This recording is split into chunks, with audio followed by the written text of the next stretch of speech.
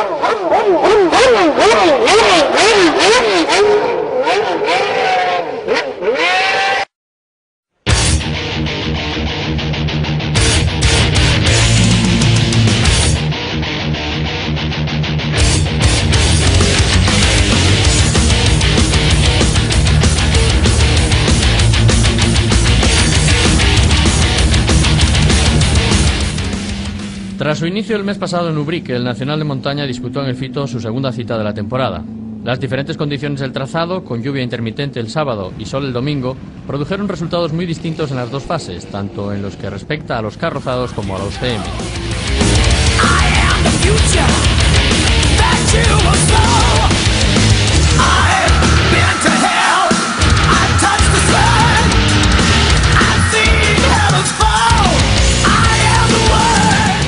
Sábado, solo Manuel Cabo apostó por los slicks en la subida oficial, acertando de pleno ya que el piso estaba seco en su mayor parte.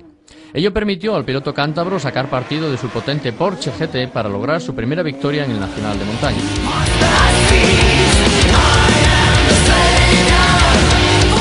El resto de aspirantes a las primeras plazas montaron gomas rayadas. De ellos, el más rápido fue Fombona, que prefirió no arriesgarse con los slicks para evitar una repetición del accidente del año pasado. El podio lo completó Aznar, que se quedó a algo menos de dos segundos de Fombona, con su Audi calzado también con neumáticos para piso mojado. Cuarto de la general y primero del grupo A terminó Julio César Castrillo con su Acengo Rallycar, claro ganador de la categoría por delante del Clio de Ordóñez.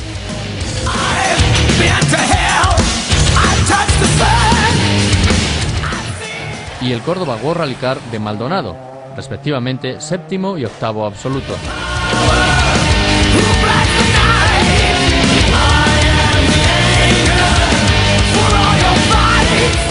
Quinto scratch de la fase A fue Viti Pardeiro, sin rivales de entidad en el grupo N, pero subiendo igualmente rápido para terminar por delante del primer GT, el Mosler de Borreguero, que acabó sexto.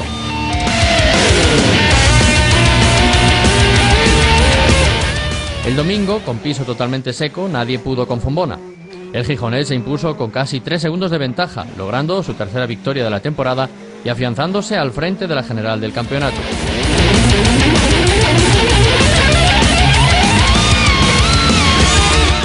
Aznar completó el doblete de los A4 en la fase B, recuperando en la segunda mitad de la subida el tiempo que le sacó el Porsche de cabo en la rápida zona inicial. El cántabro no pudo repetir la victoria del sábado, pero volvió a subir al podio, ocupando la tercera posición y volviendo a imponerse en GT.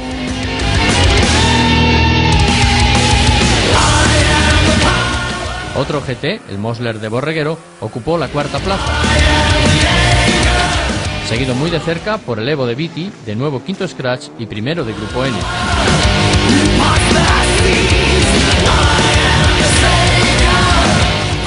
Los mejores del Grupo A ocuparon el resto de puestos entre los 10 primeros. Avia fue esta vez el ganador de la categoría con su 206 World Rally Car.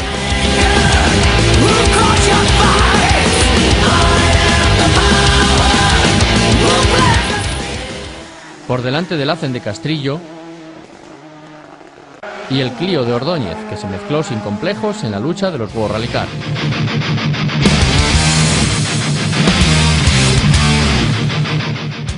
La categoría de clásicos registró exactamente el mismo resultado los dos días. Clemente se impuso con autoridad al volante de su SEAT 124. Serratosa fue segundo en las dos fases con el TVR y Noguera completó los dos podios con su habitual Lotus Elan. Manuel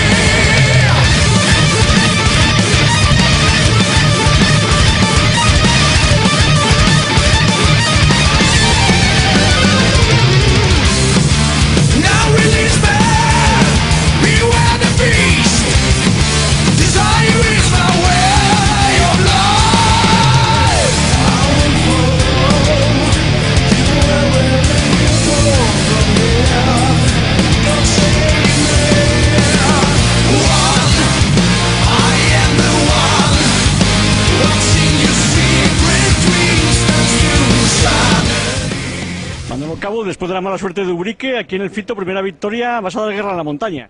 Bueno, la verdad es que muy contentos con el resultado. Hombre, yo me quedan, me quedan kilómetros con el coche, me queda mucho que descubrir de él, ya que en cada pasada cambiamos cosas nuevas, a veces acertamos y otras fallamos. Ahora, me hemos fallado, por ejemplo, en esta última, ya que le pusimos excesivamente blando y destrozamos las ruedas en la parte final.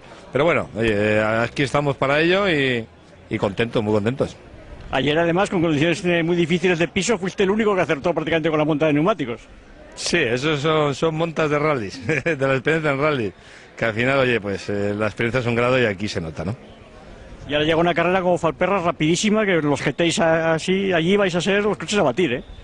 Pues no lo sé, como no conozco, yo lo, el que tengo es que no conozco ninguna subida, por lo tanto, ahí voy, voy aprendiéndomelas y y bueno, tengo la suerte que hemos ganado ayer y hoy terceros por nada y contentos, muy contentos. Gracias.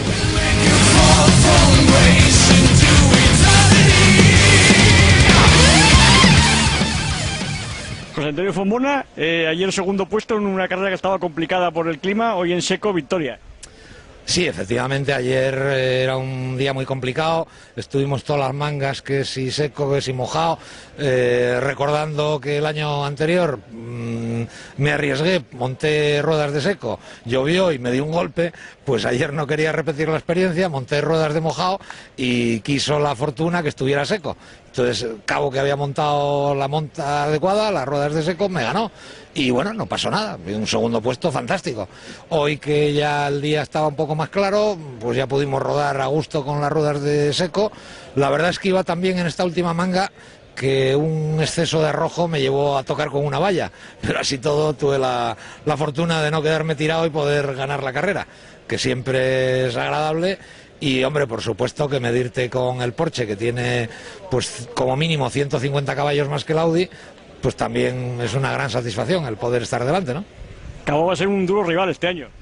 Sí, sí, eso parece. Y no, no, y a mí me ha encantado de la vida. Yo ya sabes que la peleilla me gusta mucho. O sea que si va a seguir, que espero que siga todas las carreras del campeonato, pues esperamos tener ahí un duro rival y poder batirnos el cobre fuertemente. Andar no está mal tampoco, ¿eh? está haciendo unos buenos tiempos. Y bien ahora Falperra, que los GTs allí van a ser duros también. Efectivamente, yo creo que en Falperra vamos a tener muy, muy, muy difícil poder ganar a los GTs porque es una prueba que tiene una zona rapidísima donde, bueno, pues nosotros apenas cogemos, porque estos coches no tienen mucha potencia, apenas cogemos 205 kilómetros por hora y los GTs llegan a 240. Entonces ahí nos van a sacar mucha distancia. Vamos a ver si en el combinado que se dice, en el conjunto de la prueba, somos capaces de estar con ellos, pero lo veo francamente difícil.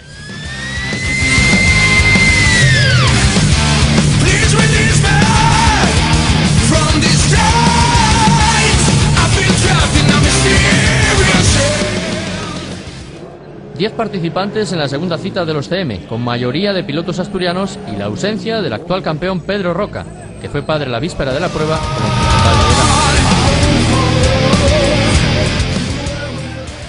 El sábado la victoria fue para Aritz Egozcue, que sumó su segundo triunfo consecutivo de la temporada con el Silvercar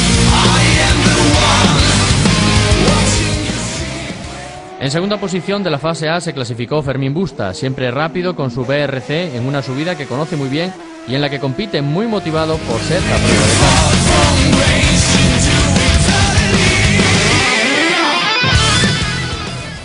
El podio lo completó Oscar Palacio, que estuvo más lejos de lo esperado de los tiempos de cabeza, parando el crono a casi tres segundos de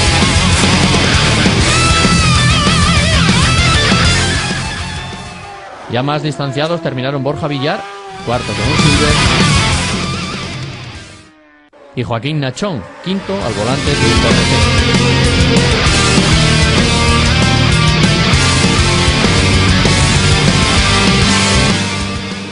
El domingo Fermín Busta fue el más rápido, quedando a milésimas del récord de Roca y logrando su primera victoria en una prueba de campeonato de España.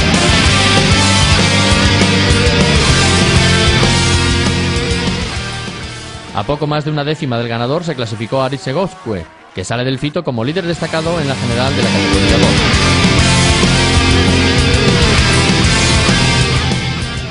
2. Oscar Palacio repitió tercera plaza, pero con cronos ya mucho más cercanos al dúo de cabeza, ya que apenas seis décimas le separaron del primer clasificado.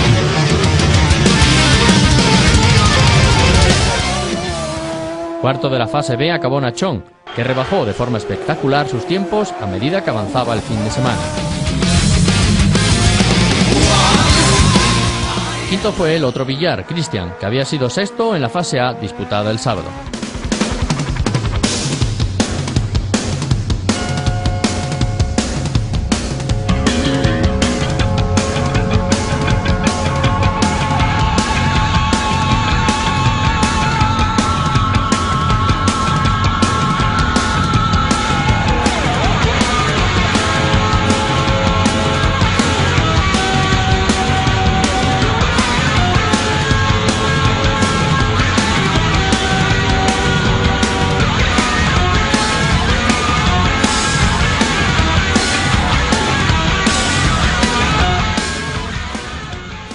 Ari Segozcue, eh, ayer victoria, hoy segundo puesto y en el campeonato vas destacándote ya con diferencia. Sí, la verdad que está saliendo bastante bien este año. Estamos, yo creo que el año pasado aprendimos bastante, gracias a Pedro y a Silvestre que me han ayudado y me han apoyado bastante y este año intentamos hacer las cosas un poquito mejor y, y está saliendo todo de cara.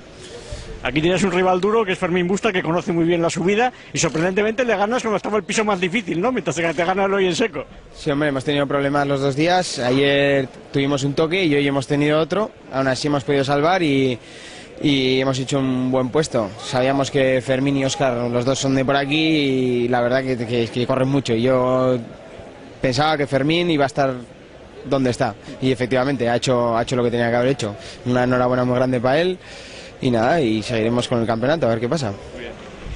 Eh, y echamos todos de menos a tu gran rival eh, o gran rival para todos en CM, que es Pedro Roca, ¿no? Que no, estaba, no estuvo hoy compitiendo. Eh, lo echamos de menos y a ver si viene pronto, que ha sido padre y le mandamos una enhorabuena y a ver cuándo se puede reincorporar otra vez, que es una alegría tenerlo cerca siempre.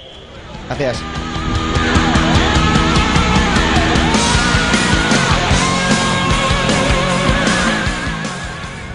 Primera carrera del año y empiezas eh, fenomenal, con una victoria en casa en una subida que es importante para ti. Sí, la verdad es que todavía no me lo creo porque ganar aquí en el Fito contra dos pilotos como Arit y Oscar, pues con todos los problemas que tuvimos durante el fin de semana, pues casi que no me lo creía cuando, cuando me dijeron el, el tiempo.